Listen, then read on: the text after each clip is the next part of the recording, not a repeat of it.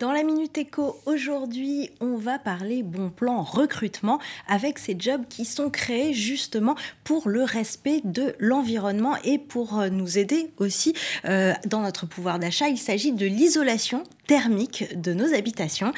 Avec nous, euh, vous êtes l'éco-isolateur, donc Guillaume Dulac, et vous recrutez. Est-ce que vous pouvez nous expliquer un peu ce que fait votre entreprise? Alors, les éco-isolateurs est une entreprise nationale qui a 10 ans. Euh, qui fait 45 millions d'euros de chiffre d'affaires, 350 collaborateurs et une vingtaine d'agences en France. Donc vous, vous euh, installez de l'isolation euh, dans les maisons, on vous appelle et vous trouvez des solutions en fonction des besoins Absolument.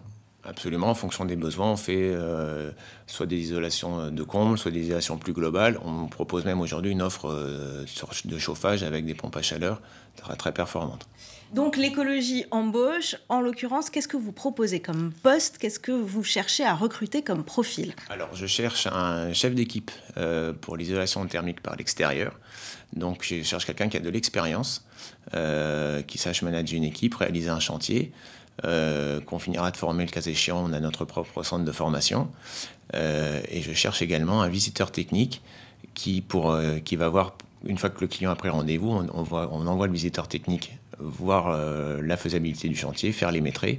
Comme ça, quand on va le jour J réaliser le chantier, on arrive avec euh, les éléments qu'il faut, le bon matériel et la bonne équipe. Ce sont des postes à Bordeaux, à Angoulême. On sait que vous vous occupez des deux territoires Les deux, Bordeaux et Angoulême. Qu'est-ce qu'on fait pour euh, recruter si on est pour être recruté si on est intéressé? Alors on va sur notre site lesécoisolateurs.com. Il, il, y a un onglet recrutement et on peut postuler en ligne. Merci d'être venu nous partager ces bons plans. À demain pour la minute éco.